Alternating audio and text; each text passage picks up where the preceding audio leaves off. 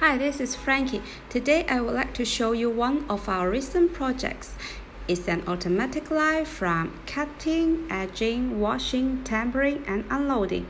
The most special part of this line is unloading. Let's come with me and take a look.